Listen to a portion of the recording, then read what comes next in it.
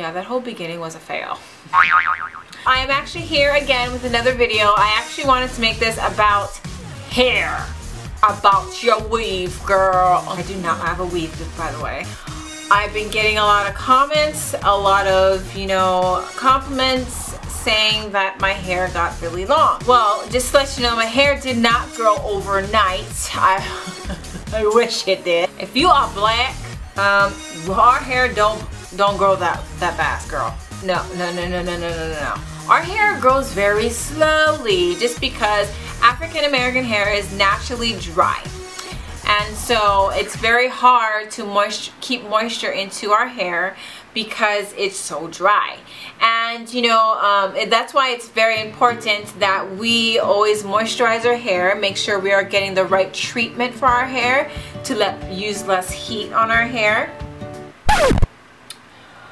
The less heat part I really need to do. I'm not gonna lie, my hair ain't ain't healthy at all to be honest with you. On camera it may look healthy to you but I do have a lot of split ends. I do have you know I do um, cut my own hair but I do I do it little by little because I am so traumatized by people cutting my hair and they just chop it off. It's like I hate scissor friendly stylists because they don't care anything about your feelings. They will just chop, chop, chop, chop. It was a very hard struggle and a very long journey. I have I have cut my hair into a bob. Um, if you looked in my previous videos, if you follow me on, you know, the social media deal, that my hair has gone through a lot of transitions. I have went curly, I went straight, I went curly, I went straight. Personally, I like both sides. Um, I love my hair curly. I do miss my curly hair, don't get me wrong. But then I like my straight hair. So my hair's been through a lot. And I've, I used to color it a lot. I did color my hair black though. Only because I had like this ombre going on, grown out brown, light brown hair. It was not pretty girl. I will forever just keep it like this. If I really do like black hair though, I really like how my hair looked black. Um, my my dark brown hair is starting to come back if you can tell. I basically left my hair curly. I did not put any heat into my hair. All I did was moisturize my hair and kept it curly. And mainly what I did when I did have my hair curly, I did use a lot of moisture into my hair because my hair was so dry.